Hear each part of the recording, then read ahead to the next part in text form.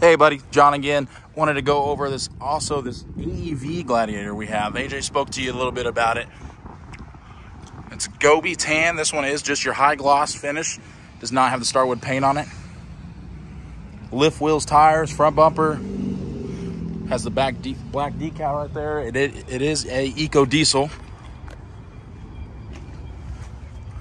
Here's some of the badging for you.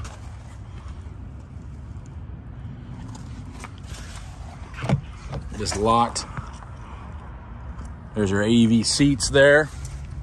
Just want to see what you think about this one as well. Pretty awesome build. They're both pretty equivalent in price. But let us know which one you want, man.